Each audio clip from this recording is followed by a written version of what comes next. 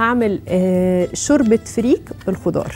معانا فريك الفريك ده أنا غسلاه ومصفياه بس كده مش عامله فيه أي حاجة تانية.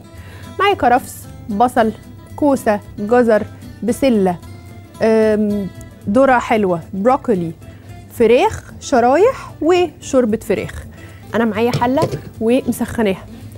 الطبيعي زي أي شوربة هنبتدي نشوح البصل وبقية الخضار معاه وأنزل أنا هشوح البصل وبعدين الكرفس وبعدين الفريك وبعدين أنزل ببقية المكونات. ده لو أنا معيش فراخ أو معيش بروتين لكن بما إن معايا نوع بروتين فأنا هشوحه الأول. عندكم خيارين. يا تنزلوا بيه في الحلة وبعدين أول ما ياخد لون ويتكرمل حلو نطلعه وننزل ببقية المكونات يا إما نكمل وننزل عليهم ورا بعض. طيب أنا ليه بكرمل أو ليه بشوح المكونات بتاعتي؟ الكرملة دي بتدي طعم بتضيف طعم للأكل حلو جدا بتطلع روح طعم الأكل. فالكرملة خطوة مهمة ما تفوتوهاش.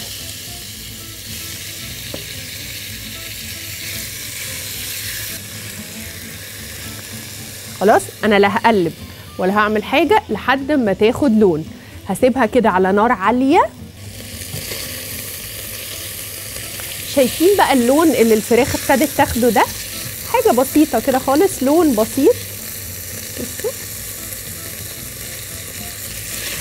اللون ده كده عارفين لو أنتوا واقفين معايا هنا هتشموا ريحة فراخ محمرة.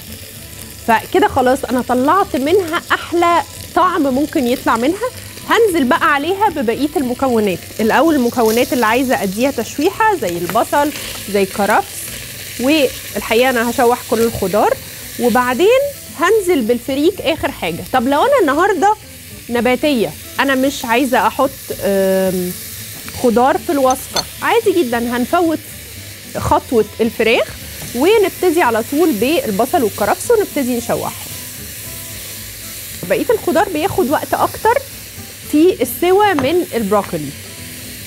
الكوسة برضو تحبوا تضيفوها في النص مفيش مشكلة تحبوا تضيفوها في الأول مفيش مشكلة.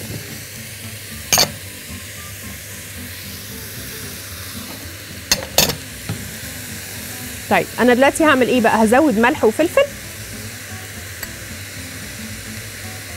وهزود الفريك. الحاجات دي كلها هتتحمص مع بعض كويس. وإيه؟ هضيف الشوربة على طول.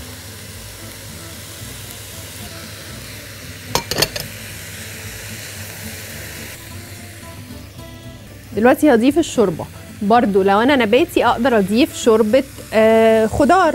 آه لو أنا عاملاها بالفراخ هضيف شوربة فراخ.